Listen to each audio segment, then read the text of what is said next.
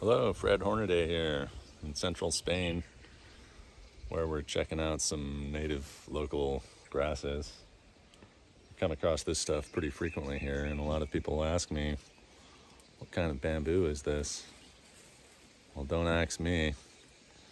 No, actually, it's Donax, Arundo Donax, to be specific, and it's actually not bamboo at all. It is a other type of grass which is native to the Near East, very widespread here in Europe, Southern Europe especially. You see it growing all over Spain.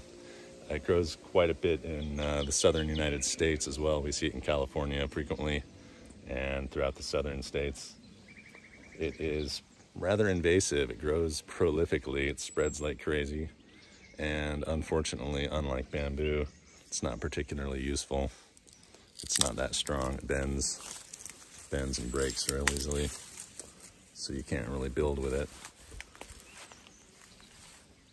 It is useful as a biomass. You can make fuel out of it. You can make Arundo Donax ethanol for your car. That would be kind of cool. Otherwise, it's just a prolific grass that you see growing all over the place. Uh, very common close to riverways and waterways where there's ample ample water supply and in the winter it dies back so you can see all the old growth from last year that kind of turned brown. And all the new growth here nice and green and lush. It's also got flowers on it right now.